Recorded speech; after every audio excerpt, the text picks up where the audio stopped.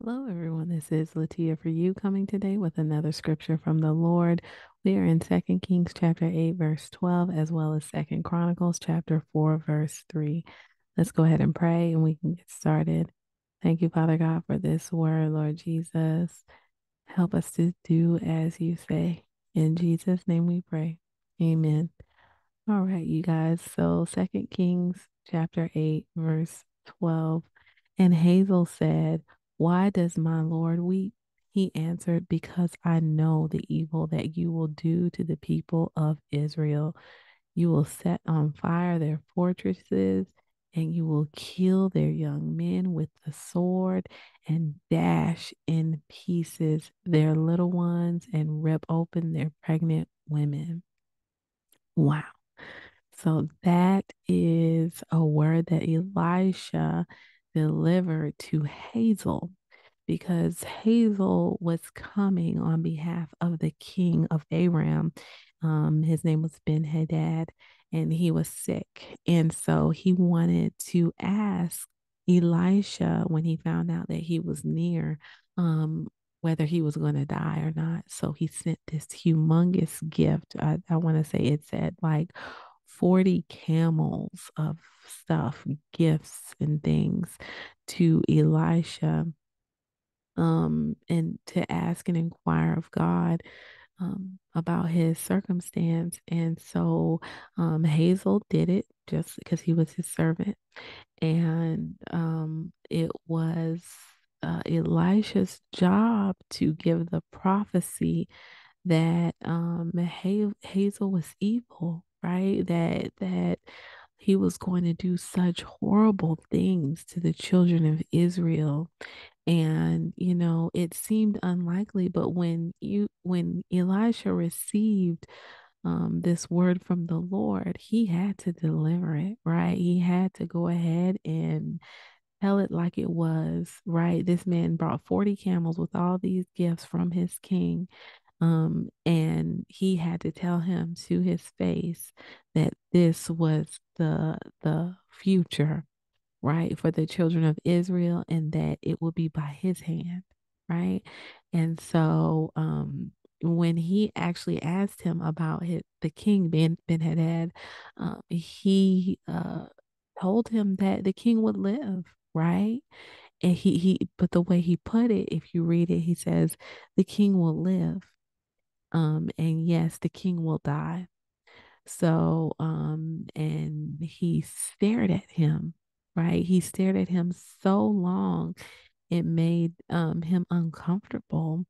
And then he he proceeded to burst into tears. Elijah did, and Elisha did.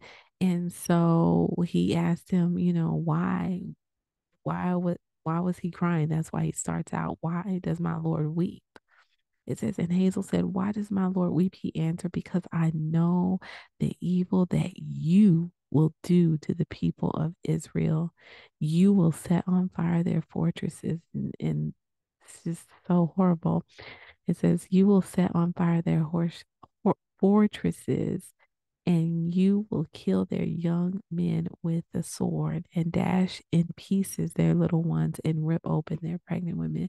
And he could not see himself doing this, right? And yet he prophesied it anyway. And and um he he um Hazel um went on back to the king uh, the king asked him, What did the man of God say? Right. And he said, You're going to live. Right. And he proceeded to turn around and kill the king. Right. He took a, I want to say it's as a bed sheet and wet it and put it over his face and killed him.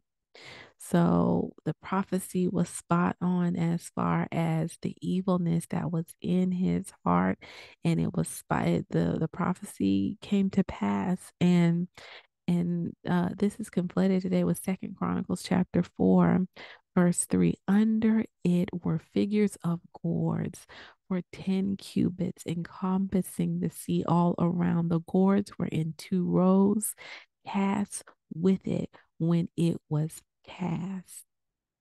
And so this is the um the water basin, the brazen sea, I want to say it's called, um, in the temple. And this huge water basin had the they call them gourds, but they're oxen. We call them ox. And so there had these 12 oxens all around, right? And each one of them um were symbolic of the 12 children, the 12 tribes of Israel. And so the the Levites would use this um this huge basin of water with these oxen underneath it to clean their hands and their feet right? And so, so that they could serve in the temple, they would already be clean, but then when they would come in, they would cleanse their hands and their feet for service, right? And so, the thing the Holy Spirit was telling me about this conflation is that, you know, it was about cleaning your hands, right? Doing the work of the Lord. Sometimes it's not nice right? Sometimes it's scary. Sometimes it's embarrassing. Sometimes it's uncomfortable, right? He stared at him for so long until it made him uncomfortable. And then he burst into tears. Why? Because he had such a heavy burden for the people, but he, and he had a heavy burden for the Lord, and he had to deliver this horrible message to this man, this evil man who did not even know that he was evil. Right? He I'm sure he probably knew he was evil, but I'm sure he didn't know that he was capable of these things. Right. And yet he turns around and becomes exactly and, and is exactly what the prophecy said. Right. But when you're doing the work of the Lord, when the Lord gives you a message, you got to wash your hands. When the Lord gives you a word, you got to wash your hands. When the Lord is telling you to go to this place or go to that place, you got to wash your hands of that thing. You have to go and do the will of the Father. There's a place for washing, and it comes when you do what He said to do, right? Your hands can be clean, your feet can be clean, right?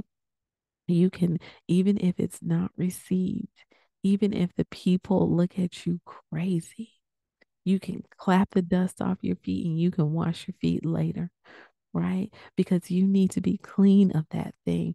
You need to to allow the word of the Lord to convict you um, to the point where you make sure you do what he says to do. Amen. All right, you guys, um, let's pray. Thank you, Father God, for this word, Lord God. We know that it's not easy sometimes serving, but we know that we can do all things through you who gives us strength. Lord Jesus, help us to walk that out. Help us to live that. Help us to know what to do and how to do it when the hour comes. In Jesus' name we pray. Amen. All right, you guys. May the Lord bless you and keep you. May he make his face shine upon you and be gracious to you and give you his children his peace. Take care.